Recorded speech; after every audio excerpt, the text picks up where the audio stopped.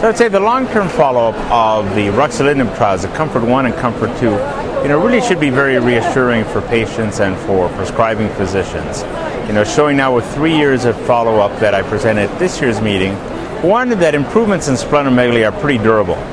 And we see in this group of patients who were fairly sick when they went on the study, I mean, intermediate two and high risk, that 50% of patients remain actively on the drug. You know, so for given the, the people who are on that, that's pretty good. Two, we see that the improvements in splenomegaly are pretty stable, whether we look at them as spleen volume or by uh, physical exam. We see that the improvements in quality of life remain stable in terms of long-term follow-up with the questionnaires. And we see that in terms of survival, you know, there continues to be clear benefit. You know, now we're really comparing two groups in uh, in a survival analysis. Those patients who were on ruxolitinib versus those patients who just got on ruxolitinib in a delayed way, who were originally on placebo. So we do see that over time that those are starting to behave more similarly, but they clearly seem to be doing better than we would have expected otherwise. Finally, I'd say that the long-term safety is is encouraging. You know, one, we clearly uh, do not get any sense of any long-term increased risks. Indeed, most grade 3 or grade 4, whether they be heme toxicities or non-hematologic toxicities, really become vanishingly rare uh, for new onset after two to three years of therapy.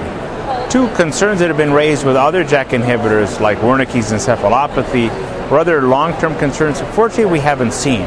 So I'd say that it's, you know, it's, it's safe, I'd say that we see the effectiveness. Clearly, a, a focus as investigators in, in, the new meeting is, you know, how do we even build on these successes further in the future for patients? But uh, I'd be very reassured by the three-year data.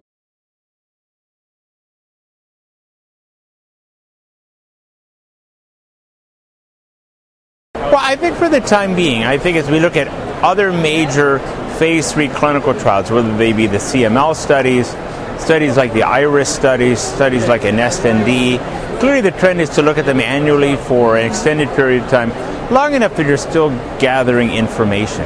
You know, it's a fairly sick group of patients who were treated initially, so over time there may be some point where that data becomes more fixed. But I think clearly for the uh, foreseeable future.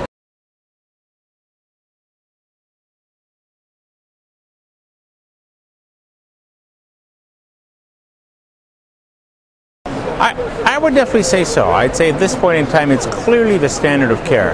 Patients, intermediate, high risk MF, big spleen, lots of symptoms, they clearly uh, should be considering use of ruxolitinib. I see the areas that are experimental, that where it isn't standard of care yet, would be early patients, very early or low risk disease, individuals who have very aggressive disease and should go to a bone marrow transplant instead those are different issues. But I think for the people who are included in the study, it's uh, truly the standard of care.